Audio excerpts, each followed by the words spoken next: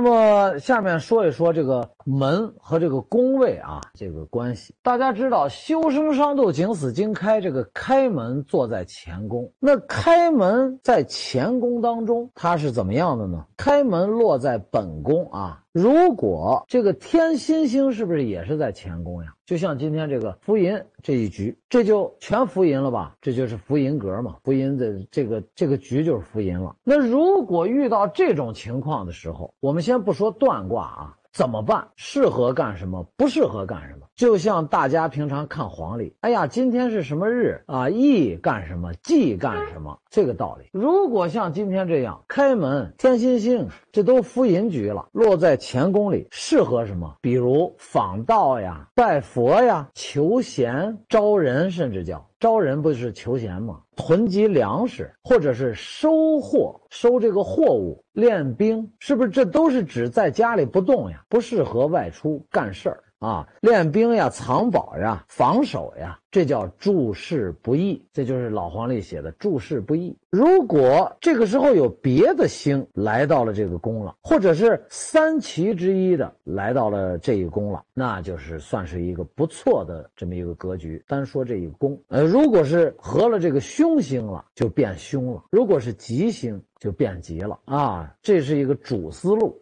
这不就是开始解读了啊？开始解读，利用这个福银局解读一下，它留在本宫位啊。紧接着，如果开门动了，到了坎宫，开门到了坎宫，那么开门是吉门，吉门也是属金的，到了坎宫，是不是开门升这个宫位来了？开门是个吉门，又升这个宫位，所以这个宫位里的一些属性就就好，就吉祥了，对吧？代表有贵人相助。开门本身就是，你看开修生是三个吉门吧？吉门就代表贵人。那么这个贵人来到这个宫位里，恰恰是这个贵人来帮助、来升服这个宫位了，这就叫贵人相助。在这种情况下呢，肯定是赚钱呀。获利呀，啊，成名呀，都有很好的象征。如果再遇着一个三奇之一的落到这个坎宫啊，更吉祥，更加吉利。但是如果一个不好的星或神落入这宫里呢？也不好，也带了凶相。那怎么个不好呢？叫先吉后凶，也就是原本整体都是吉祥的，就因为来的那一个不好的，把这个宫带成呢，带成一半吉，一半不好，一半凶。赚钱也是先赚钱后赔钱，这就是相反了。为什么呢？开门属金，天心星属金。如果落在本宫位，是不是上面是钱，下面是钱？这是不是乾卦呀？那么开门的钱落到了坎宫的水，是不是天水讼这一卦呀？这就跟八卦结合上了呀。讼讼就是官司。哎，如果都是吉的话，那就好，打官司也赢起，正赢了。如果来了凶，那就不太好。如果还说开门，开门这是落到坎宫了。如果开门落到了艮宫。开门落到艮宫，那么是不是叫天山遁了？为什么咱们要先先学六爻呢？前段时间就是你得先对八卦你记不住，但是你得有所了解，然后经过后期的运用，慢慢的你就会带进来啊，一一点一点的吃，只能是我们学呢，只是把方法思路学到。至于类象，那我没办法让你瞬间记住，我做不到，我没有那种功力能给你灌了顶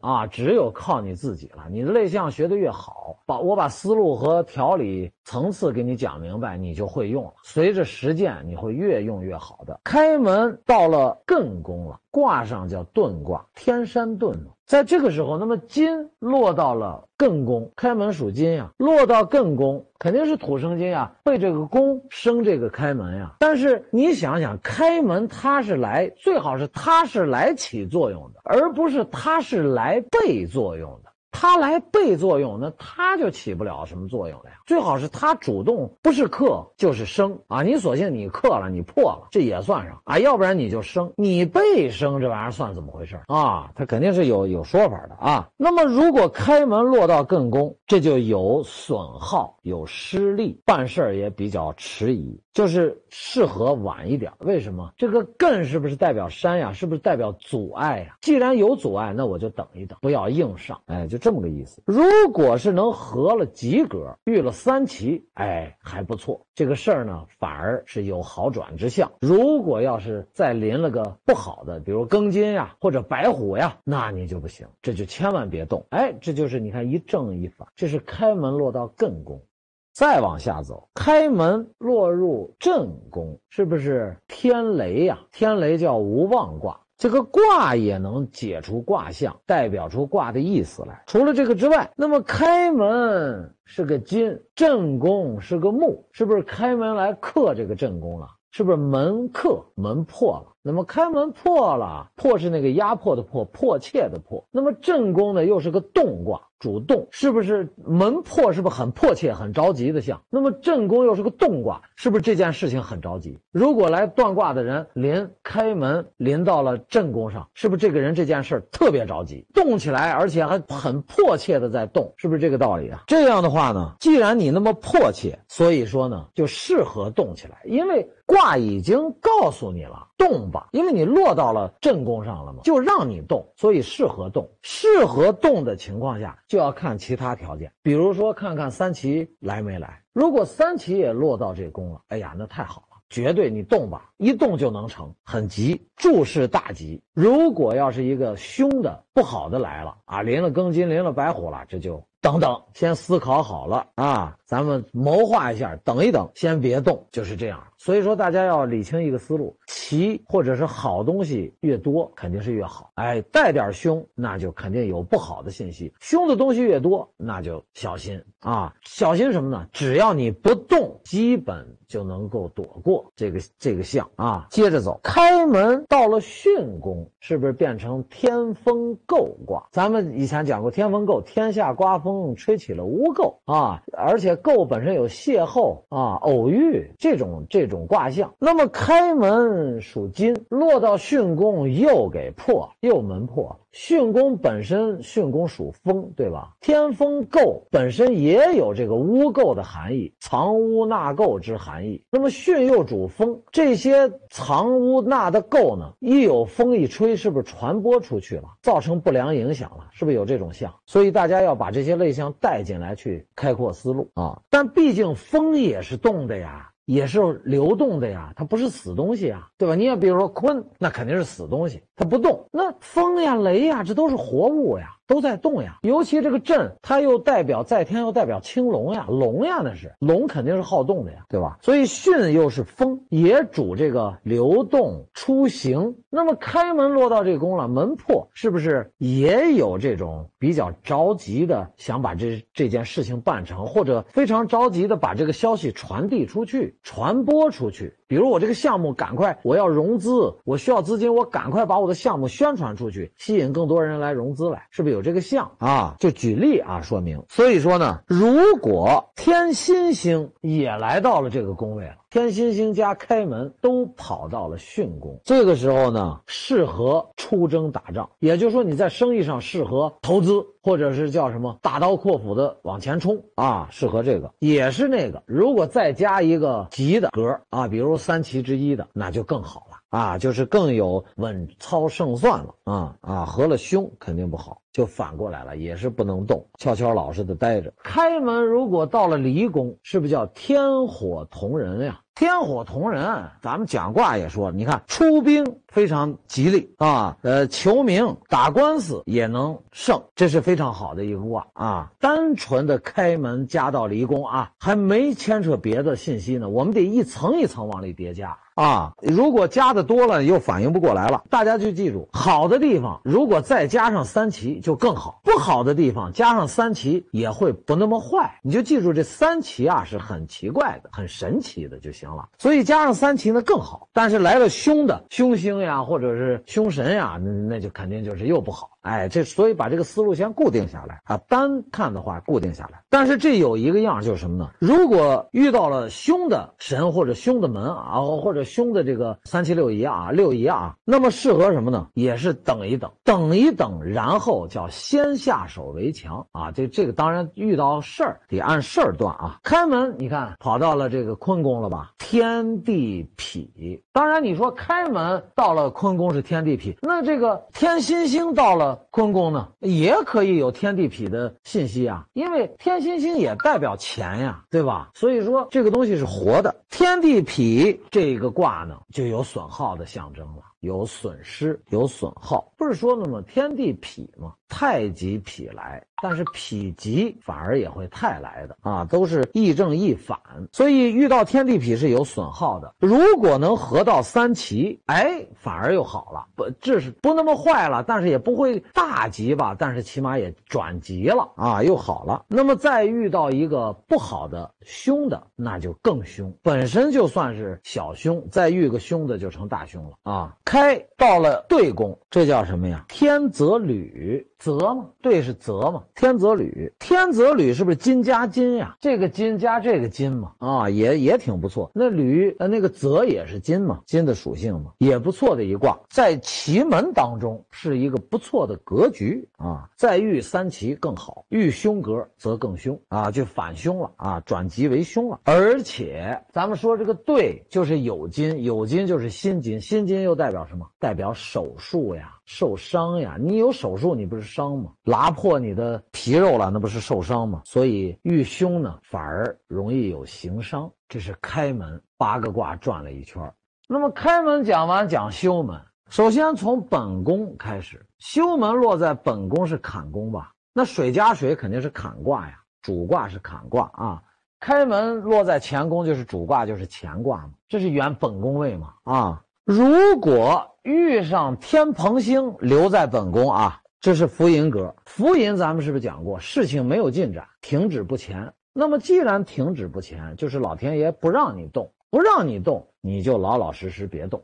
打仗你就固守，不能出兵啊。做生意老老实实待着，不要投资，就这么一个意思。百事不急，百事不急，是不是什么都不能干了？有能干的，只有。跟这个水相关的能干什么呢？养鱼呀，啊，卖鱼呀，啊，酿造酒呀，囤积粮草呀，囤积粮食呀，进货，跟刚才那个道理一样。所以说就得等。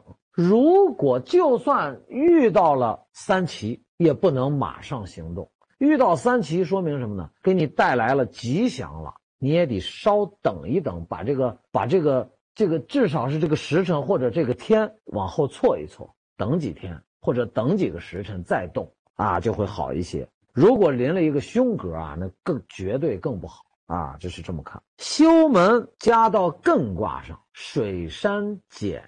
修门加到艮卦，也就是水在山上。那么水在山的上面，它是不是要往下流呀？水是活的呀。它不会不动，那山是死的。水在山上是不是要往下流？往下流就是出走、出行之象，所以打仗呢就利于出兵。你看这个象都是有关联的，哎，求名呀，你看这也是打官司呀，啊，都比较吉利。如果再遇一个三奇，哎，那更好。如果遇到了这个凶格啊，哎，你就固守一下，因为你有山呀，借助于天险，你可以屯兵固守，山上又有水。有水就象征着粮草齐备嘛，哎，你囤它个十天半个月问题不大。啊，躲过这笔这一段时间这个凶相的时间，因为咱们刚才讲了，你要会应用，你现在起卦的这个时间呀，带入到这空间里，它就告诉你这个时间段在这个空间里显的是这个象，你这个时间段在这个空间里你适合干什么，不适合干什么？如果遇到不适合的，那你就错开这个时间段就可以了嘛。等这等这个时间从这个空间里过去，下一个时间来到这个空间的时候，你不就变了吗？啊，是这个思路啊。修门加在震宫，是不是叫水雷屯？那么咱们说了，水也是活的，震卦也是动的，都是动态的这两个。那么动态的，你看有这个象征没有啊？水哗哗的往出流，那雷呢也代表雷声大作或者擂鼓。助威，咚咚咚咚咚，一打鼓，那水哗啦哗啦往出流，是不是也是出兵的象征呀？出兵行军打仗，是不是这个象征？所以你用在做生意上，是不是可以大展宏图呀？这种感觉呀，哎，而且有人给你助阵、助助威啊，所以说这一卦呢，也是适合前进的一卦啊。如果再遇到三奇，那就是必是大吉之象，出兵大获全胜之象。啊，这就是一个好现象。当然又是反过来，遇着凶神凶格，屯兵固守，不要动。你心里再想动，那水再想流，那雷雷鼓敲得再响，那你就来个雷声大雨点小，但是就不出兵啊，不要动。那么修门加入巽宫，水风井卦，水下生风嘛，就是井。什么叫水下生风？那个风是不是这么个流动？是不是也类似于水下地下的一个暗河呀？哎，你这儿打了一个孔，地下暗河，这不就是一个井吗？也利出兵，那水嘛，只要是水，肯定要流动，它是活的啊，也利于出兵。所以说，还要看临三奇，万事大吉啊。如果临了这个凶的六仪，凶的神，也是不能动啊。修门落到了离宫，水火既济。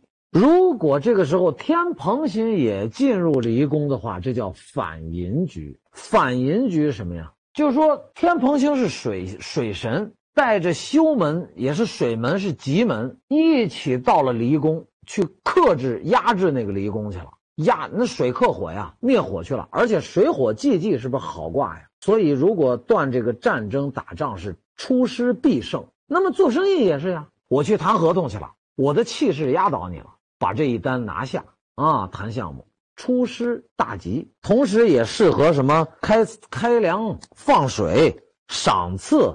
开沟挖井啊，通渠也适合这个。那么临三奇也是大吉，临凶凡事不易，肯定不行。你所以你比如你我要出门谈合同，遇到这这个天蓬星带着修门落入这个离宫了，哎呀很好。然后结果你一看那儿有个白虎，那儿又临了个什么庚金，又有个吉土，坏了不能去。咱们说吉土是陷阱呀，小心人家给你设套，或者白虎过凶的话，鸿门宴。啊，或者你看什么什么什么加什么，比如咱们前两天又讲过那个什么什么那个丁家鬼、朱雀投江，临着什么了？到时候再再说啊，到时候什么青龙反手啊，什么什么等等的啊。修门加入坤宫，水地比卦啊，出兵也比较吉祥。为什么？水在地上流，不就是河吗？河哗哗哗的往前前进，这不也是出兵的象征，或者是出去做生意的象征吗？那最次也是我出去打工也能挣钱啊，就这个意思。后边的就不再说了，遇三奇则吉，遇凶则凶，就不再重复了啊。前面重复了好几遍，大家已经肯定记住这个这个象了。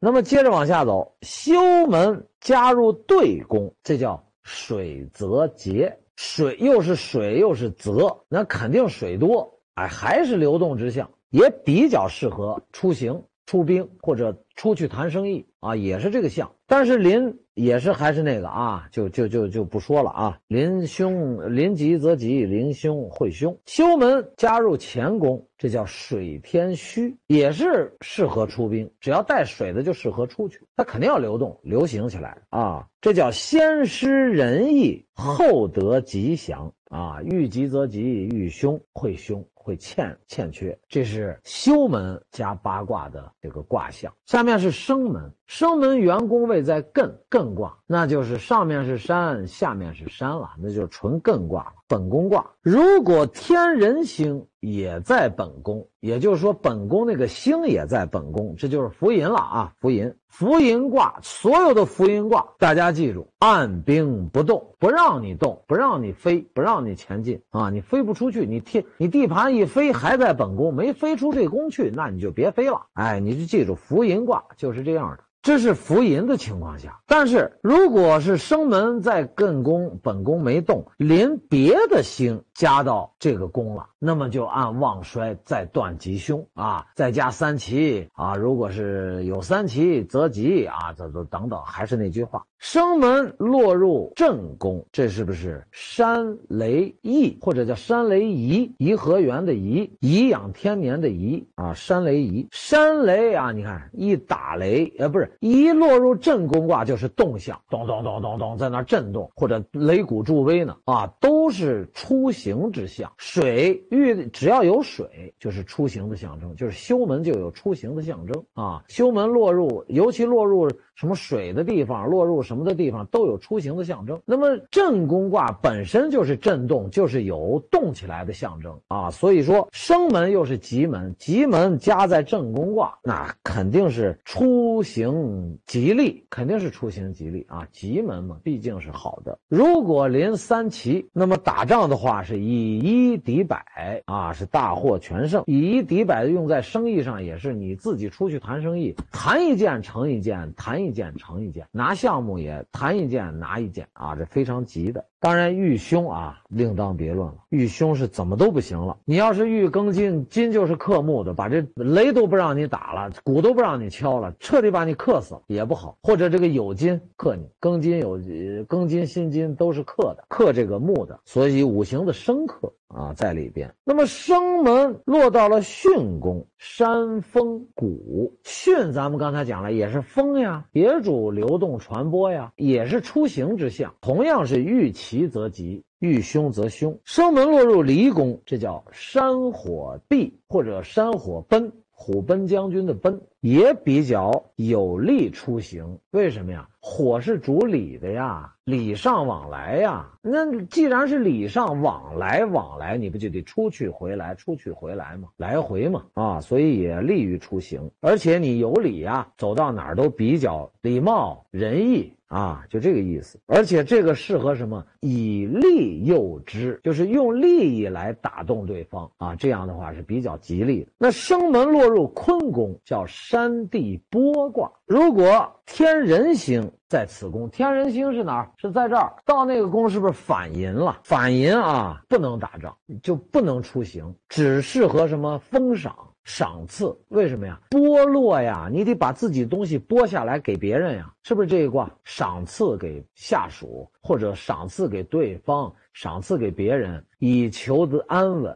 啊，你别起兵造反，我让你，我给你好处，适合安慰别人。但是如果不是反寅，是其他的星落入这个宫了，也不是凶星的话，那就吉利，或者遇三奇就吉啊。生门落入对宫，这叫山泽损。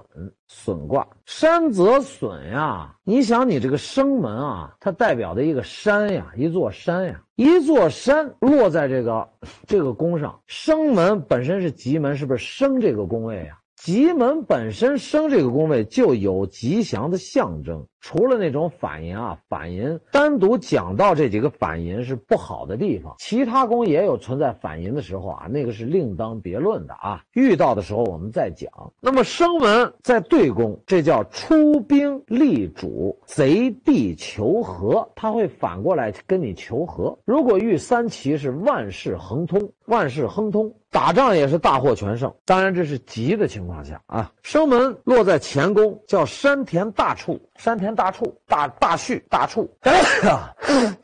山天大畜。咱们开始刘瑶讲这个卦的时候，这个大畜大畜代表什么呀？是不是大有积蓄啊？比较膨胀了啊。那么也主这个出兵得利、出战得胜啊，也有这个象，肯定是呃，这个是比较急的啊，遇其更急啊，是这么一个象。如果那个生门加在坎宫，山水蒙或者蒙内蒙的蒙啊，蒙蒙就是蒙昧的意思，蒙昧无知的那个啊，那个蒙山水蒙，你看是不是见了水了又？哎，又是一个出兵，也就是谈生意外出之象啊。但是这个叫以计。取胜，易失仁义。哎，就是你，你要施展你的仁义之心，以计取胜，要有策划。这叫注事儿，叫先虚后实啊。以计取胜，遇吉则吉，遇吉大凶。哎，遇凶，遇凶大凶啊，减半了啊。这是生门。我们你看啊，开修生三吉门讲完了。我觉得咱们今天别管时间长短，咱们就讲这么多吧，别多了。在下节课咱们再往后讲啊。伤杜景死经开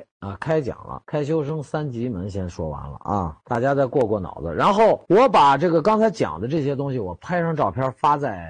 群里，大家呢把它整理出笔记来，时不时要翻一翻看一看。我给拍照啊，任何都能和奇门结合。八个卦，六十四卦是不是跟奇门能结合呀？你这个八个门在这个八个宫里转了一圈，是不是八八六十四卦？每一个门转一圈是八个卦，八个门转一圈是不是六十四卦？然后八字和它也有关系啊，都是必然的关系啊，都是必然的，绝不是巧合。学懂了五行，再学了八字，再把六爻学了，因为六爻直接就把六十四卦都讲了。啊，用不着你单独去学《易经》，《易经》那个更更，当然应该学，但是暂时用不着。就是我们能快速的进入奇门嘛？啊，基本就这么个意思。商门本宫就在震宫，雷加雷，这不是震卦吗？啊，震的本宫卦就是就是这儿，商门加到这宫，上面雷，下面雷。这就是正宫卦啊，本宫是天冲星，如果天冲星也落在这宫，也就像昨天说的那个福银宫啊，里面门福银，星福银啊，这种情况只适合什么呀？要债、求神、看戏、进货、囤积粮草啊，还有就是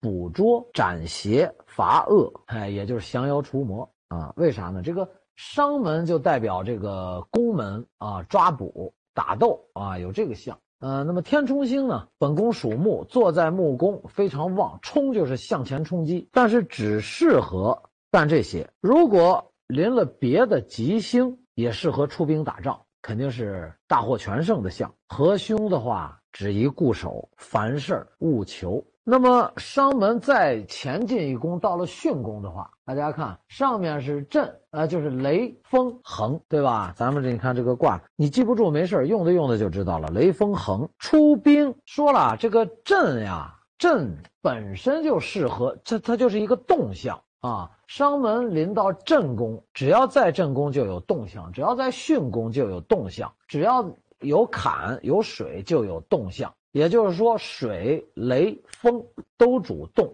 那么商门加在巽宫是雷风横卦，出兵大吉，战必全胜，比较顺心如意。同样也是，如果合了凶星呀、凶的东西，那么就叫先吉后凶，一半一半。再前进，商门加到这个离宫卦上，叫雷雷火风。风咱们讲过，是不是大丰收呀？啊，丰盛。这个商门是木，木去这个宫里生这个宫位的火，这个宫就更旺了。商门本身是从震宫卦过去的，是不是带着这个雷的这个动的这个象呀？啊，所以说是有利于出兵啊，贼来投降。你只要你一出兵，对方就来投降了，不动兵戈。凯旋而归，这个如果遇到这个凶星呀、凶的什么东西啊，也是先吉后凶。先吉后凶是什么情况呢？比如说你出兵吉的话，本来是对方来投降来了，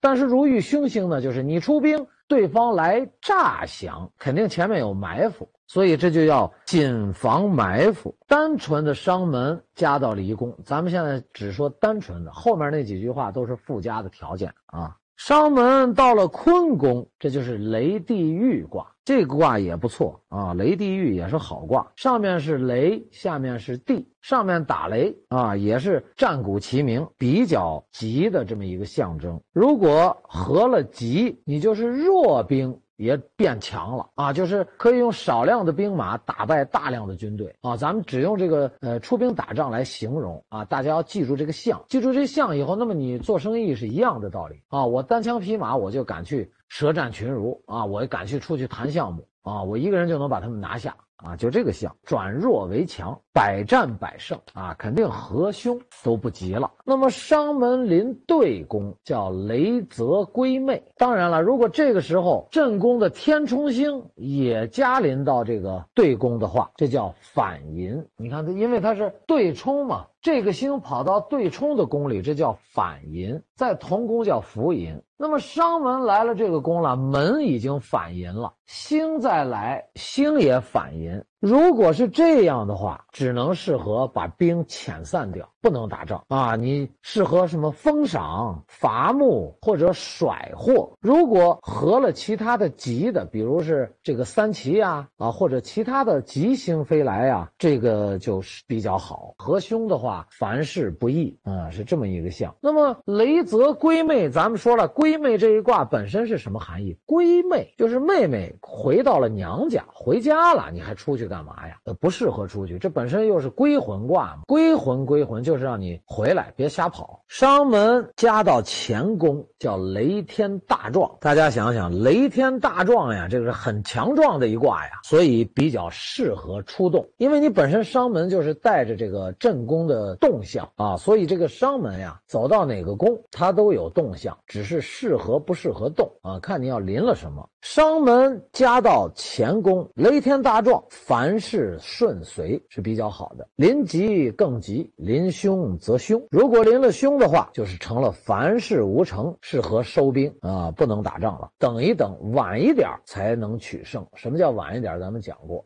这个把时间带入了空间，那么告诉你这个时间在这个空间里不适合，那么你过了这个时间它就适合了啊，或者是过过时间再看。商门加到坎宫卦叫雷水解卦，这个也适合是出兵。你看雷加了水了嘛，更都是动向啊。合吉则战无不胜，也是凡事皆顺；合凶凡事迟吉。就是这个前头肯定是有一定的困难啊，所以说尽量的在这种情况下就不要出兵，不要出手啊，做生意也是等一等再说。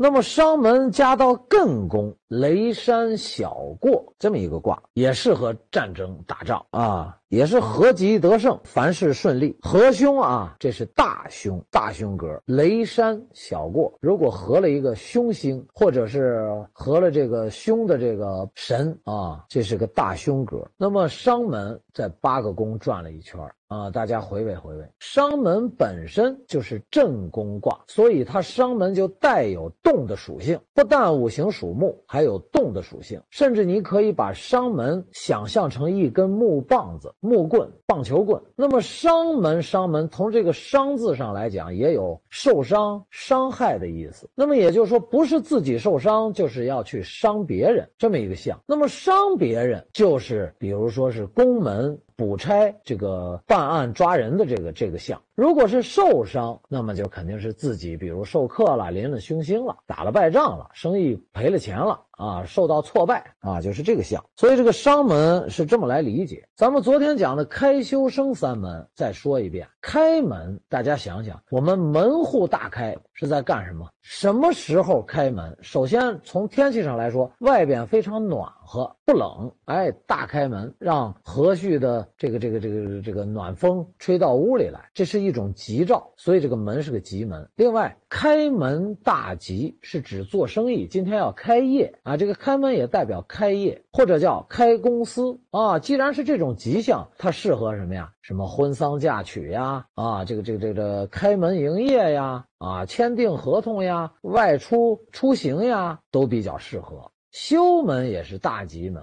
为什么呀？修门代表修身养性。那么什么人才能达到修身养性呢？肯定是手里有钱，又有大量的时间修身养性。所以能够达到这两个条件的，你说他好不好？对吧？生门，大家听这个生门就是来生来助你来了。当然他不能门破或者是授课，他就有点费劲。这生门最好是来生你，这是最好的。来克你也还不错，也还行。所以奇门遁甲里的思路啊，这个生和克，它有的时候。和八字是不一样的。反的啊，比如门克门就破了，但是为什么还可以呢？这个指的是看用在什么地方。门破是迫切的破，这是第一层意思。应不好的事儿的时候，就是等同于破坏的破。那么应到好事儿，迫切的就是迫切的干什么？再看别的东西。如果坏事的，就是破坏掉，也是在结合别的东西看。所以在奇门遁甲当中啊，每一个宫当中呢，它是吉凶同论的，没有绝对的好，没有绝对的坏。啊，这个这个观念要慢慢的呃适应。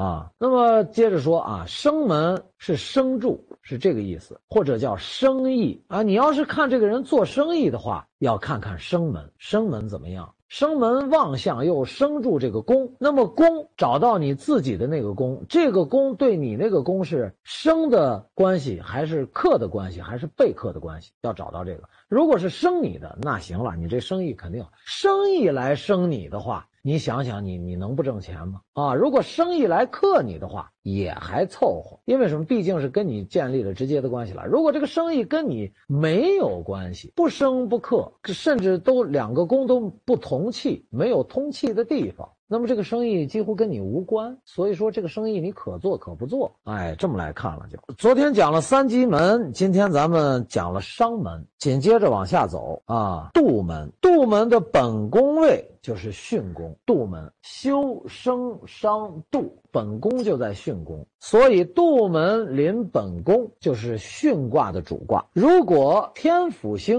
也落在本宫啊，天府星呀，文曲星，它的本宫不是就是巽吗？啊，也落在本宫啊，这就是福银了。大家就记住，以前说过，福银就是停止的状态。哎，你没有动，你飞来飞去，没飞出这个宫去，所以只要是福银卦停止状态，一般情况下都告诉你什么都不要干，本身就是停止，老天爷让你停着，你就停着。适合刚才说了，屯兵呀，收藏呀，囤积粮草呀，窖藏呀，藏宝呀，躲避逃避呀，啊，种植蓄果啊，就就这个象。如果是别的星是吉星来了，你就可以动了。为什么？巽宫卦，巽也。主动嘛啊，坎震巽都主动，可以出兵，可以出去做生意，比较有利于什么谋划呀、计划呀啊，就是这个暗中筹备呀，比较适合这样的。那合凶肯定万事俱凶，就不好了。好，洞门飞出第一宫，到了离宫的话，这是烽火佳人卦。烽火就象征风风火火。那你说风风火火，他不出去，怎么个风风火火呀？他肯定是有利于出兵打仗，有利于出门谈生意、做生意，而且也是贼来投降。你发现这个贼来投降啊，是不是好像临了这个，只要遇着这个进入离卦的时候，就有这点儿就有这个贼来投降的这个意象呀？啊，好像一见火。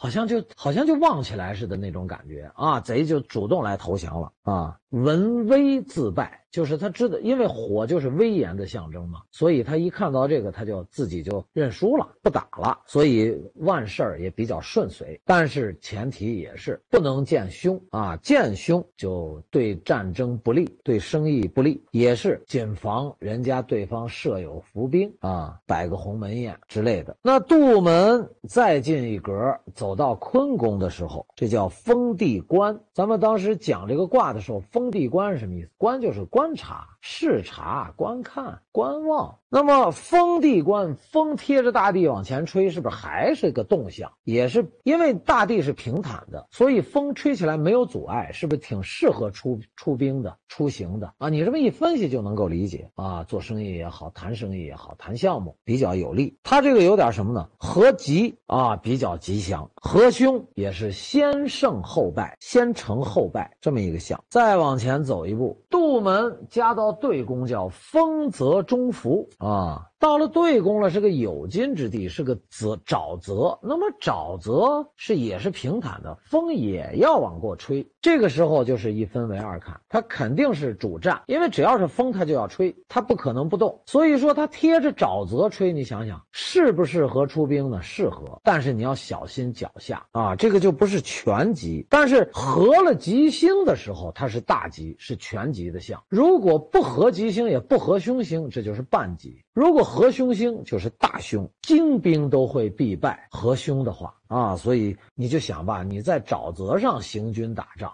不临凶的时候，你是半吉，哎，有可能陷进去，有可能就过去了，百分各百分之五十。如果临吉星的话，那你都能过得去。如果凶星来了，一个都过不去，哎，全得深陷泥潭，深陷沼泽。杜门加在乾宫的时候啊，乾六宫叫封天小畜，或者叫小处，小有积蓄啊。咱们以前讲过，如如果同在巽宫的天府星也加临在前六宫的话，这是不是对冲的宫位？是不是叫反寅呀？啊，如果是反寅的话，你这个木跑到金上，是不是被金所克呀？被金克，你就老实点吧，你走不动了，你走不了了。啊，星也反寅，门也反寅，适合收兵、散众、逃遁、躲避、赏赐、稳定军心。如果有别的吉星来了，那么战主胜啊就好了。这个敌人也叫文威必退，为什么呀？乾宫呀，这是天呀，这是最大呀，所以这是有威严的啊。这儿是有金，这儿就是庚金，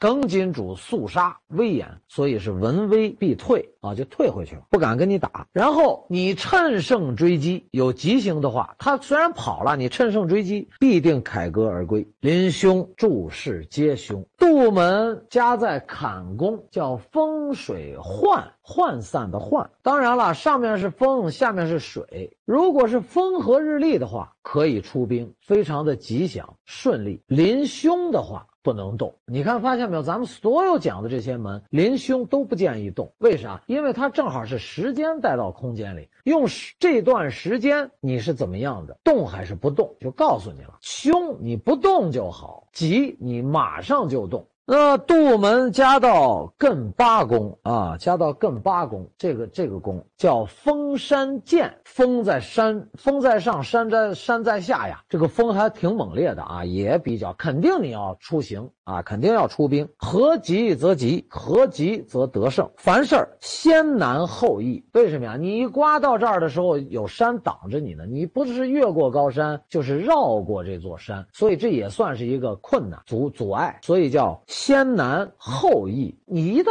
绕过这个山以后，是广阔的平原，你就顺利了啊，容易多了。合凶战必败亡，所以都是这个道理。合凶，咱不管它有多凶，只要是不利的来了，我们就先不动，哎，就完了，这就是个原则了啊。从门上来讲啊，杜门加在正宫，叫风雷翼，风雷翼啊，又是风又是雷，那肯定必动呀。战必胜啊！又是风，又代表迅猛；这个雷又是就是击鼓，咚咚咚咚，击鼓出兵，又迅猛的击鼓出兵，这肯定是猛的一冲击，打敌人个措手不及，肯定是必胜啊！必胜的象征。同样是合吉则吉啊，合三奇啊是大吉中的大吉，合凶的话。防有诈兵埋伏，凡事成空。凶的话就避开这个时间点。杜门在八个宫转转了一圈，哎，杜门是巽宫的风。另外，这是从卦意上来考虑啊，从门的属五行属性上来考虑的。它主风，落到每个宫和每个宫地盘的属性配合起来是什么象？另外，杜门本身不算是吉门，偏凶。为什么呢？杜门也是堵门呀，临杜门一般这个事儿啊不好成，所以你就得仔细看相。临吉星还好，临凶星，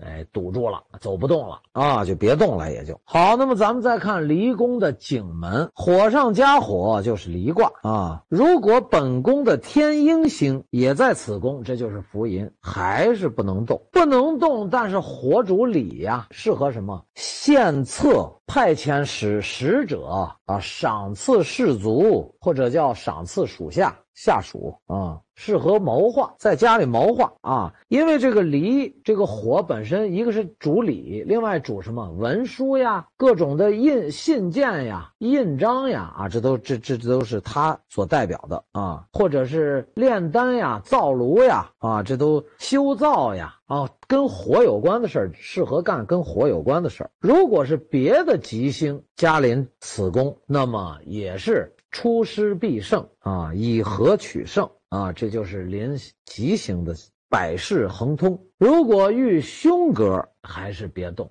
啊，一动就不利。下一个就是景门到了坤宫，火地进，你看这就马上变了卦了，火生了这个坤了吧，坤土了吧，这个就发挥出景门的作用，门来生这个宫，对这个宫好。所以火地进了，晋升了，上升或者前进，就这么一个象征，这也是非常吉的。景门本身啊，这个吉凶啊，也不好断定。只有修生伤，呃，吉的方面多，其他的你说是凶门吧，它有的时候是很急的。你说是看应什么事儿啊？剩下的门啊，先不论吉凶，一定要看它的条件比对后再说吉说凶。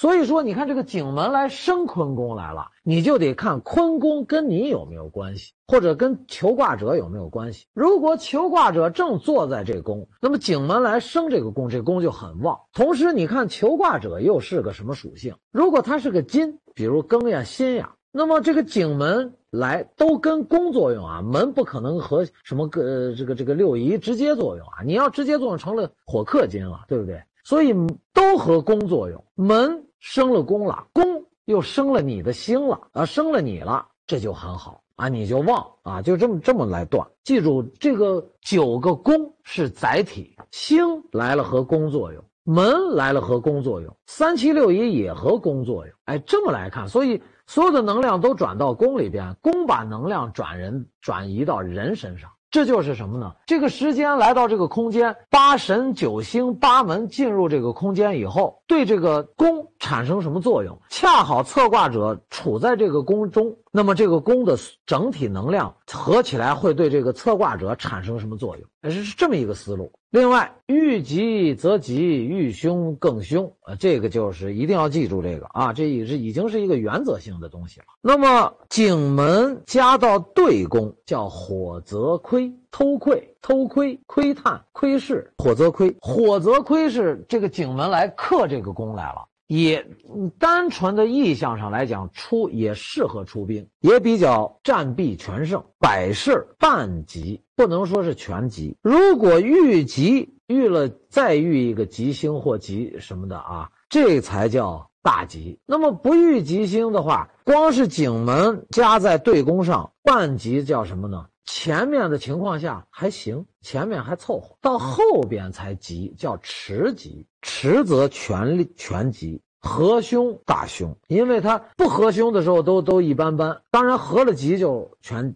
全好了。合了凶不是大凶吗？这就是一个能量的条件。你比如有的，我这个门加到这宫本身就是大吉，我不合吉星我也大吉全吉。合凶呢是凶了，但是也不是大凶，这几个程度要把握好。如果我再合个吉星呢，我就叫更吉、大吉或者上吉。那么像这种情况，我到这个宫里的时候算吉啊，叫半吉。那么合了吉星才叫全吉。那半吉的状态下合凶是不是大凶呀？啊，是很凶的。景门进入。前六宫叫火天大有，哎，你看这一卦火天大有，咱们讲过，大大的拥有啊，拥有的很多，那你说它好不好？这个就属于一个全吉的象啊，非常好，大吉大利之象啊，出兵打仗也是凯奏凯而归啊。如果临了凶格，那么就是损兵折将，凡事不易。哎，还是告诉你，临凶你趁早别动，保全实力。那景门加在坎卦，坎一宫，上面是火，下面是水吧？是不是叫火水未济呀？反过来，水在上，火在下，叫水火既济啊！火，这叫火水未济。火水未济，火水未济，在奇门里边也比较急，也适合出行、出兵，都不错。当然是不能临凶啊！它就是只要不临凶，它就比较急；临吉更急。如果天阴星也来到坎宫，这就是反寅了。反寅的情况下啊，星反寅啊，加上门反寅，也是按兵不动的象。就是像咱们以前面讲过的，适合什么修造呀、囤积粮草呀、发那个发奖、发奖励啊、奖励部下、遣散众人。那景门加到艮八宫的时候，火山铝啊，火山铝，山上喷出火来，或者叫火山铝，这也是一个出兵的象征啊，战得利，凡事都有益啊，有益处。合吉更吉，合凶啊是减半。合凶就是半吉半凶啊，记住这个象。那么景门加到震宫叫火雷石科卦，哎，震又加上动了，动又加着火，这肯定要打仗，肯定要出兵，这这这个拦不住了，这个啊，也是个大及格，征兵先举取胜都是比较不错的。何兄那就别动了啊，悄悄待着吧。那么景门加在巽宫上。叫火风鼎，三足鼎立的鼎，风也是主动的，所以也有利于出行出兵，也是旗开得胜。但是呢，这个巽啊，比这个雷，你看咱们讲木主仁义啊，这个震它是打雷，打雷主躁动威严，他这个人他顾不上讲仁义，他动得太凶，他没等他讲仁义，他就已经一个雷劈下来了。所以呢，一定是在巽，因为风是柔和的嘛，所以巽宫啊，这个木是比较讲仁义的啊。所以说，你看，尤其加临了火，火又主礼，巽又主仁义，这是一个非常优雅的卦象，甚至是啊，这个火封顶，这叫凡事先施仁义，迟则通达。哎，也就是说，你不用太怎么使劲的去争斗，不用打仗，不用刀枪剑戟，你仁义挥仁义之师，你等一等，不要上来就打，对方慢慢的谈一谈，我给你一定的宽容，哎，反而自然获胜。和凶则凶啊，同样是这样的。景门大家看也绕了一圈，八个宫啊，景门属火嘛，咱们说了，属所有属火的。都是代表什么？朱雀呀，朱雀代表什么？官非口舌，那么也代表什么？文书、印信件、印章啊，礼仪。下面咱们看死门，听起来挺害怕这个字啊，确实有让人值得害怕的地方，因为它确实代表死亡。单纯从这儿来讲，它是一颗大大的大凶星，但是它也有好的象征。怎么是好的象征呢？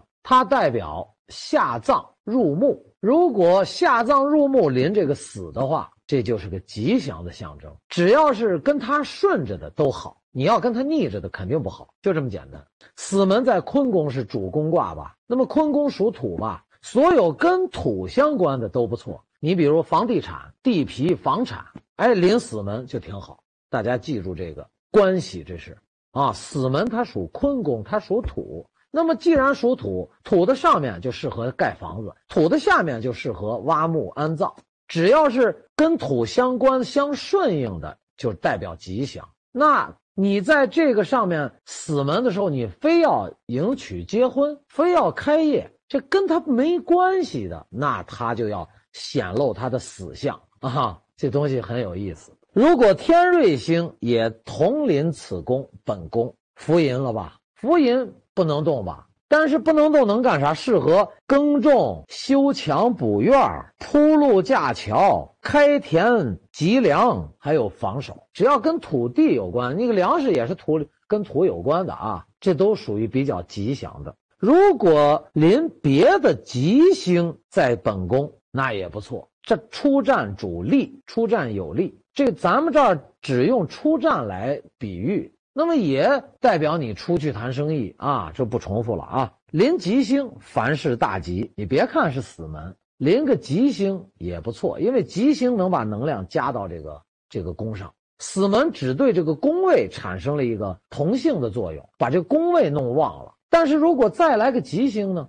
吉星的属性又进来了。再来个三奇呢？哎，三奇的属性也进来了，这也是吉祥的象征啊！不要怕这个死门。当然，合凶就麻烦。有这个死门啊，怕什么？怕测病、测身体状况，这个就麻烦了。你说你的病和身体状况，你再临上天瑞星、病星、病灾星，那跟这个死就扯上关系了啊！所以是很凶的。死门动，加临到对宫，这叫地泽临。临就是大驾光临，那么大驾光临就是贵人到来的意思。所以说。战主胜，哎，也是非常急的啊，也可以。你别看死门，你看在哪个宫啊？出兵后举得胜，就是说什么？什么叫后举得胜啊？你比如两波打仗，你别先动，你让他先动，因为啥？你临死门啊，死门就是休息，就是不动。你等他出兵，他只要一出兵，你再出兵，你来个后手，反而得胜。你因为这个时间段两军交战的话，你临死门吧，他也临死门呀。那么谁先动谁先死，就是这个意思。你后动你必胜，它属于小吉之象，合吉就变成了大吉，合凶呀麻烦了就。死门加临前六宫叫地天泰，哎，你看这个就好了。地天泰卦这个就是一个吉格了。你你根据卦象呀，这是个吉，兵强战胜，谋为皆就啊，你的计谋都能成功啊，打仗就赢了。和吉更吉，和凶更凶。啊，就这么一个卦象，反正这个死门要注意啊，死门真的不是太好，真是我刚才说了，除了这个生意，你看你做你要做房开生意或者做土建装修啊，跟土相关的拆墙呀、修院子临死门，你干去吧，很好啊。只要跟这个无关的生意啊，尽量的小心啊，尤怕测病临死门啊。死门落到坎一宫啊，叫地水湿。咱们讲过，湿是代表什么？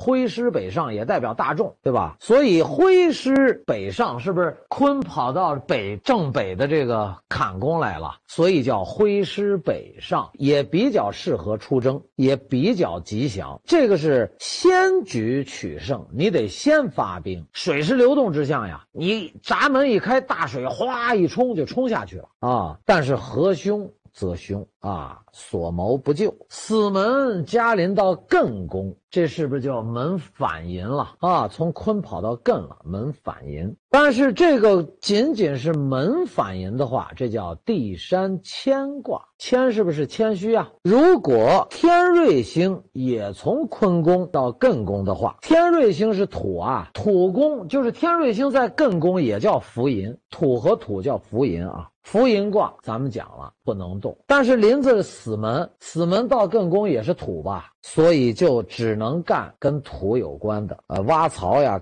打井呀、开河呀。如果是别的吉星，不是这个瑞星啊，吉星临到艮宫的话，可以出战主吉，凡事皆成。但是这个出战呢，是以和取胜。你看为什么以和取胜？你看啊，这是个土，这是个土，土土的死门来到了土的艮。宫，这是比合之象呀。土和土是比和吧？比和是一家子，一家子你以和为贵，不用打，聊着聊着就好了啊，也胜利了啊，是这个象征。遇凶则凶啊。然后死门加在这个震宫，这是坤是地，你看地雷。复地雷复是不是有颠覆、反复的意思？那么你起义就叫颠覆啊，震动，这也是主战，加上雷肯定要主战，你放心，所以也适合出兵啊，也比较吉祥，而且是精兵后举得胜，也是不用你这，也就是说啊，你你不用着急的动手，对方攻过来的时候，你咔一包抄就完事完活啊。但是它是个半级格，半级。如果要是全级的话，就是你出去就打他，不用考虑先出兵后出兵，只要考虑到后出兵反取胜，或者先出兵才取胜，这都叫半级。什么意思呢？都都在抢时间。如果先出兵取胜的话，那么你抢的时间万一是没有人家抢的早，人家先出来了。那你就败人家就急了。如果是后出兵，也是看时间。你觉得你挺晚了，你出兵一看人家还没出呢，那你就麻烦啊。所以后举得胜。死门加到巽宫，叫地风生。地风生，大家想想，第一方面是巽是主战的、主动的，那么地风生是上升的，上升就代表升官呀，那也是急的呀。所以这个比较叫主兵大胜，大获全胜呀啊。合凶，百事皆凶。死门加在离宫，叫地火明夷啊，地火明夷，地火明夷也不错呀。合及格的话，也是征兵先举大胜，先发制人啊！诸事慢慢的都会急起来，都会好。合凶肯定是战防失机，适合固守待敌，凡事无成。战防失机等于丢失了良机啊，所以是这么一个象。合凶则凶啊，如果合吉肯定是好。哎，这是死门转了一圈，八个宫。讲完这个，再重复一遍这个死门本身它的代表的含义。呃，往这个不好的方向上来看呢，肯定是代表死亡呀。呆板呀，断人的性格就是，哎呀，这人太死相，呆板，或者断病就是带死气啊，不好，这是凶的方面，也也有死亡的象征。如果这个死门又临了白虎或者临庚金，这都是不好的象征啊，相当相当凶险。所以这个白虎和这个庚金呀，不是好东西。当然，如果你年命是庚，那是另当别论的啊，它代表你自己，你自己是个小白虎啊，这是这么来。看的啊。所以说，不看年龄的话，那么临庚金相当于临了个白虎啊，再加上白虎就大凶。下面荆门，荆门的本宫就在对对宫。修生伤度景死经开，经门在本宫就是对卦，克主接利，哎，也就是对方和我都比较急。如果天柱星，天柱星就在本宫啊，这就是福银啊，福银也是啥也别动。适合啥呢？捕捉摆摆货，治货叫啊。如果别的星加临，合吉则吉，合凶则凶。合吉就是万事大吉，合凶就是百事不殆啊，不能动。荆门出宫以后加在前六宫的话，叫择天怪。怪咱们说过是什么呀？是决定的决的半拉，那么就是让你果断的下决定，干嘛？说打就打呵呵，说干就干，不能迟疑，是下决定的时候了。所以是战。主力啊，比较不错的啊。当然，合吉必大胜，凡事昌盛，永远亨通。合吉星的话，如果合了这个凶，哎，也是不行啊，百事无成。荆门加在坎宫，叫泽水困卦。困是不是不是你困住别人，就是别人困住你了啊？那么在出征出行上也属于半吉状态，那就要看来的星是吉星了，凶星了。吉星那么就全吉，那就是你困住别人了；凶星就是你被人家困住了，就是大凶。跑得慢了都不行，跑你得快跑。临了凶星，你得快跑，跑得慢就让人给逮住了，困起来了，抓起来，关起来。荆门嘉临艮八宫，叫泽山咸咸。咱们说了，下面加个心就是感，感觉的感，感情的感，也算是一个半吉卦啊。那么合吉则吉，但是这个吉有个条件，适合用计谋取胜，不能刀枪剑戟的拼杀，适合用计谋，也是。要先讲讲仁义，哎，先动动嘴。这个对是不是主说呀？啊，所以经门就代表口舌呀，说呀，也有官司的相啊。只要是这个对，就是说，先施仁义，后必大利。如果遇凶凶格啊，不行。经门加在震三宫上，叫泽雷随。随是什么呀？就是随和，跟随，随着点别人，顺随一些啊，不要那么执着，不要那么主观，客观一些，顺随一些。那也算是比较吉的一个卦啊，比较吉的一个象。何吉呢？就耀武扬威，百战百胜，凡事都是先难后吉啊，也算是比较吉祥的。但是呢，既然是先难后吉，这是不是也是半吉之象呀？所以半吉之象，我们就得小心，因为你要看凶星还是吉星来。或者凶神还是吉神来助你，或者是阻挡你啊？如果他们没有吉星，没有凶星，那你也得小心行事啊，因为它是半吉，前面在艰难的状态，你如果走错了，那你后面的吉可能就来不了了。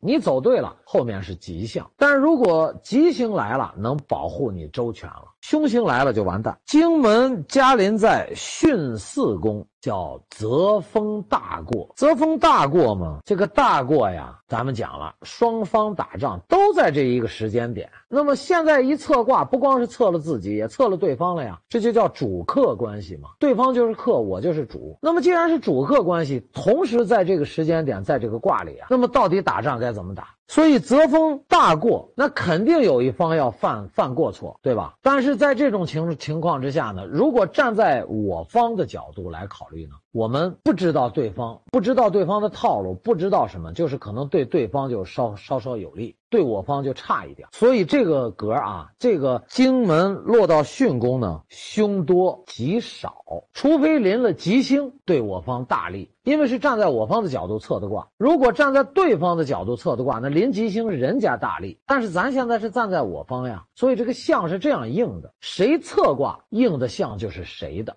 这么来看，记住这个啊，是双方同时在这时间点，但是是我测的卦，我应这个相，你对方就不行啊。当然对方也在测卦，也可能那是他显他的相，我显我的相，合吉大胜也是先难后吉啊，就是合了吉都是先难后吉。大家想想，合了凶了？那就彻底的大凶了。荆门落入离九宫，叫泽火革。革是什么？革就是主变革、革命，所以一定是出兵打仗的象，或者创新的象，叛逆啊，革命吧。所以利为主，利有利于我方。合及格，出兵全胜，但是也是先难后急。虽然是主革新，革新，你看历史上所有闹革命的、搞革新的、搞改革的，自己一定是。身受重伤的啊，要损失很多的兵力的，所以这叫先难后急啊。虽然是革命革新，最最终取得胜利，但是在中间的过程也是困难重重的啊，损兵折将的。和凶肯定是大凶。那荆门加在坤宫，叫泽地萃。咱们讲过这个萃卦，萃是什么意思？群英荟萃，代表聚集、集合、集中，代表这个战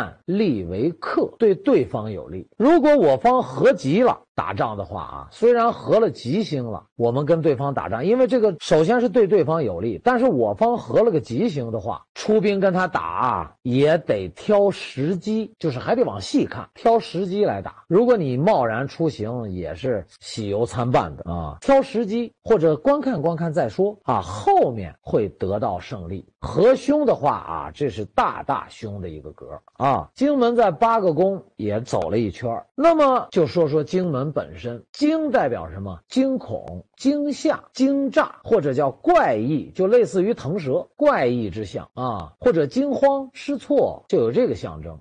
吃惊、受惊，它好的方面呢不是特别多啊，基本上它也是算凶星啊，凶门。呃，除了那个开修生三个门之外，伤门这属于凶多吉少的门。杜门也是凶多吉少，景门属于半吉半凶，死门肯定也是凶多吉少，荆门也是凶多吉少。所以说，就是开修生三个门还可以，但是所以这三个门呢得保护好，门破，哎，反正就不太好。硬好的方面可能就是迫切着急。那么你想想，如果是不好的事儿，你迫切着急，不好的事儿，这不就更不好了吗？所以说，大家要慢慢的要知道这几个门凶是凶到什么程度，要怎么来比较。